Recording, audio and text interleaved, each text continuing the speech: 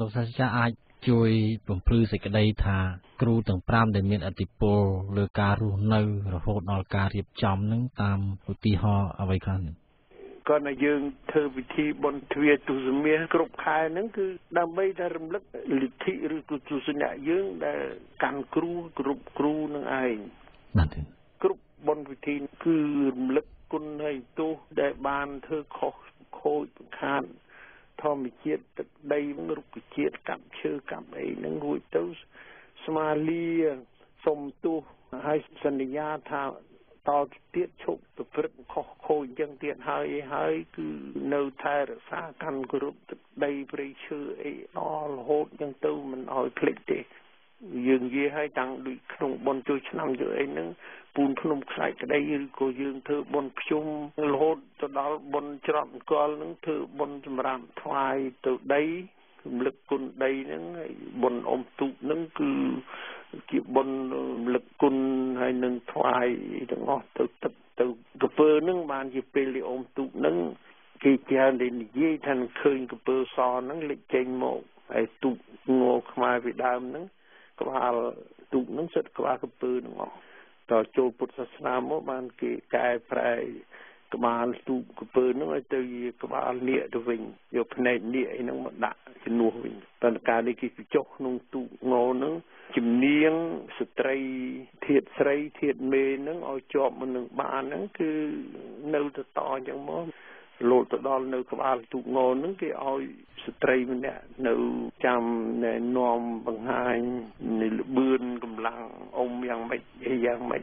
បាទក្នុងហ្នឹងគឺគឺចូលមកការរស់នៅតាំងពី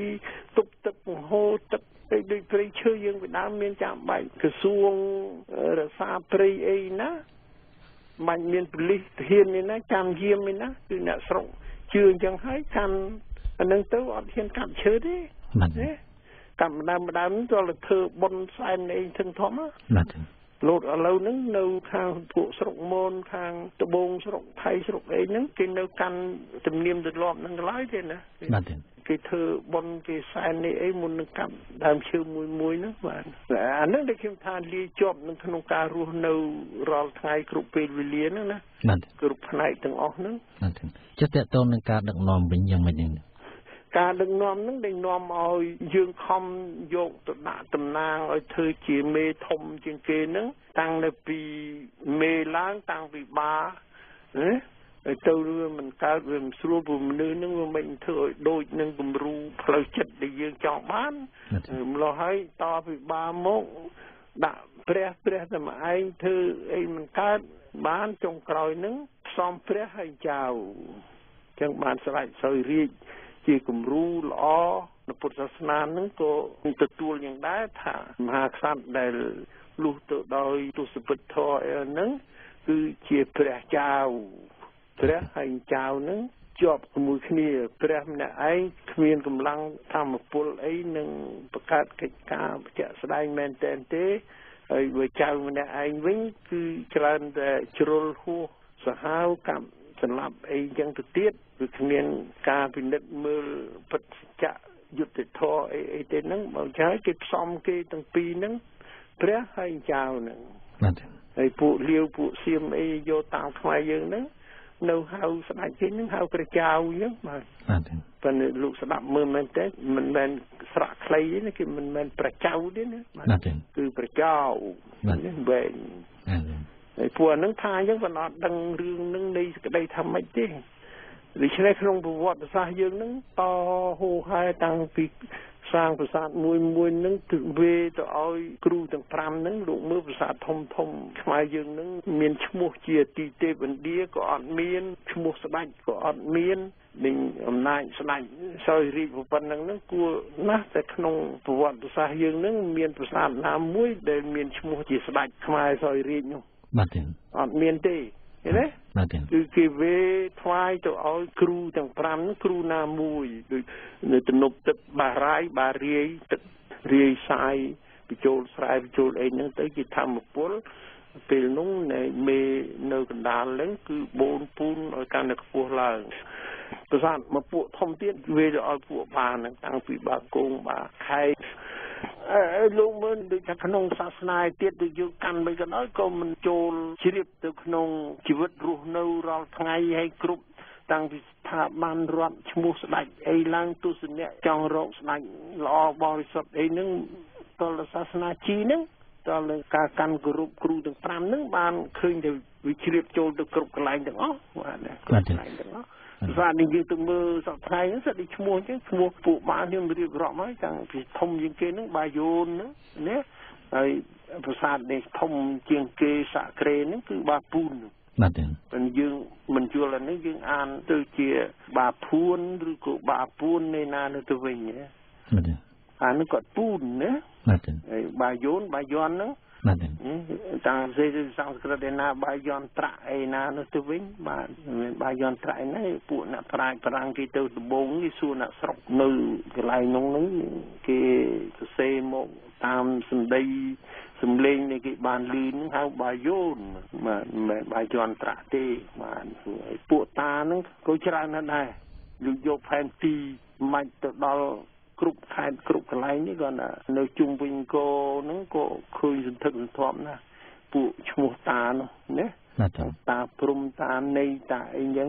ហើយពួកចៅនឹងគឺចឹងដែរភាសាចៅសោយទេវតាហើយបាទបើត្រឡប់ទៅវាអត់ឃើញព្រះទេតកែវិញក៏សន្ធឹកអូព្រះនឹងធឹកណាលោកព្រះខណ្ឌធំធំជាងគេគឺព្រះអង្គរហ្នឹងហើយដូចក្រោយមកយើងហៅអង្គរវត្តហ្នឹងបាទត្រង់ប្រាសាទព្រះខណ្ឌជាព្រះខណ្ឌឬក៏អីហ្នឹង អត់ទេព្រះលោកខណ្ឌ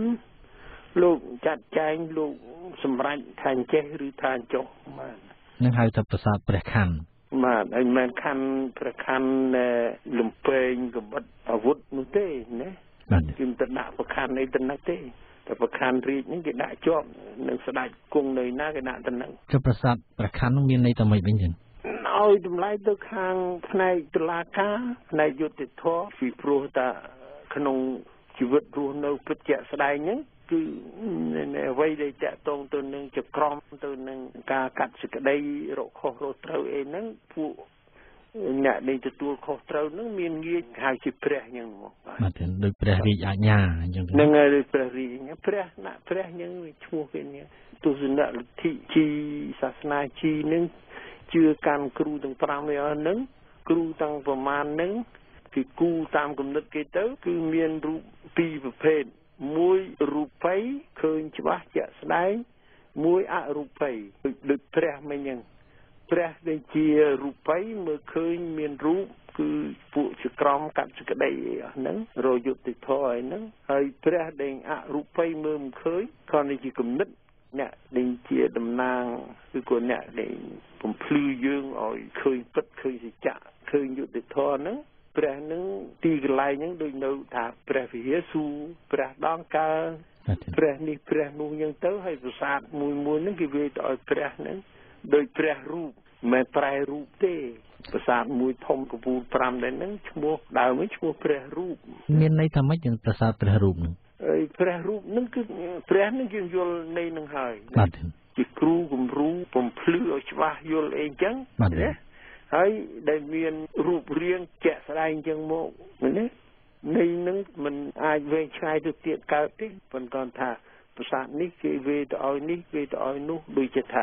ព្រះអង្គរអញ្ចឹងឃើញទេបាទប្រាសាទដែលវេទៅថ្វាយគ្រូមេដូចមានតិចនៅទេមានតិចទេប៉ុន្តែច្រើនឈ្មោះស្រុកបាទឈ្មោះអ្នកតាអ្នកតាធំធំហ្នឹងគឺតែមេអស់បាទ ដូចតាមមេសមេអីហ្នឹងបាទបាទហើយបើទៅខាងខ្មែរក្រមអូនឹងសន្ធឹកណាស់ឈ្មោះបាទ